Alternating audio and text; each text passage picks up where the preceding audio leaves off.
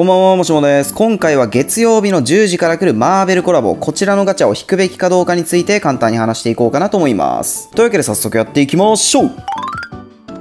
はい、というわけで、ついにマーベルコラボの第2弾がパズドラに来ます。いやー、これは俺も含め結構楽しみにしてた人が多いんじゃないかなっていう風にね、思っているんですが、これはね、石10個っていうこともあって、特に無課金、美課金、結構迷ってる人もいるんじゃないかなということで、早速ね、結論からいきましょう。結論。少なくとも今すぐにガチャを引く必要はないんじゃないかなと個人的には思ってます。まあ、こんな感じでね、新キャラが合計5体、では既存キャラもね、結構こんな感じで強化が入ってるんですけど、まあ、正直ね、俺がこのキャラだけは確保してほしいなっていうキャラが、まあ、軒並みね、交換購入でゲットすることができるんで、俺はね、今回はそんなに追わなくていいんじゃないかなというふうに思ってます。前回あんまり引けてないなって人に関しても、正直ね、交換購入で済ませるのが一番賢いと思いますね。まあ、もちろんね、このサイクロップスとか、この究極進化の性能がね、唯一無二で、これの上位互換的な、まあ、あとは同じようなね、スキルを持ったキャラっていうのはなかなか出てこないと思うんで、このキャラ複数体欲しいなってなると思うんですけど、正直ね、石そんなになかったら多分引けないんですよね、こいつ。まあ、とかとか、あとアントマンに関しても、これもね、確定枠なんでガチャの確率低いしね、多分引けないと思うんですよね。こっちのキャプテンアメリカだったり、スパイダーマンだったり、これもね、すげえいい強化もらえて、まあ、特にスパイダーマンなんかは俺はね、結構取っておいてほしいなっていうキャラなんですけど、まあ、もちろんね、このキャラに関しても交換はできるし、で、この新キャラのガチャから引きずり出さないといけないシーハルク、ドクタードゥーム、そしてザ・マイティー・ソー。まあ、この辺も結構性能はいいんですけど、もう絶対取ってないとやばいっていうキャラではないので、この辺狙いで引くっていうのもちょっとなーっていう感じもするしね。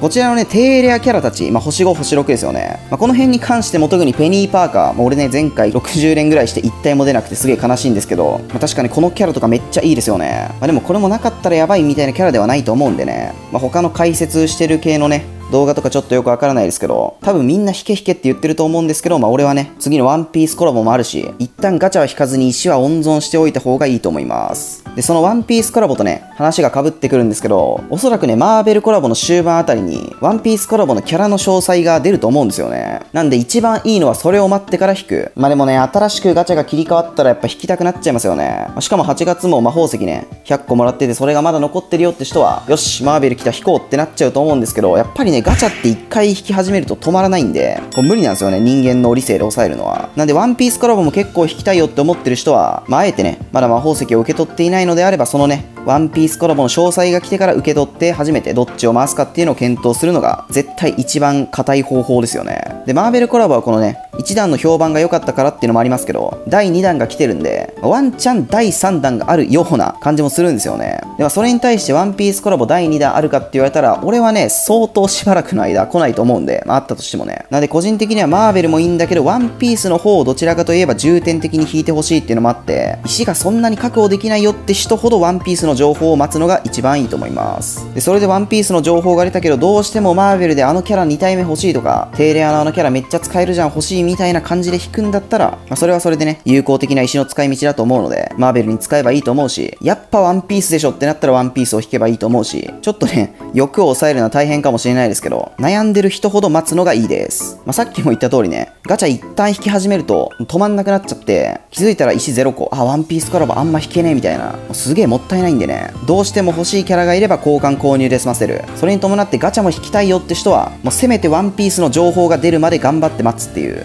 そんなお話でした。またね、9月に石100個配られますけど、いずれにせよ後悔のないように使ってもらえたらなと思ってます。はい、今回の動画は以上になります。というわけで最後までご視聴いただきありがとうございました。よかったら高評価とチャンネル登録をしていってください。バイチャアディオス。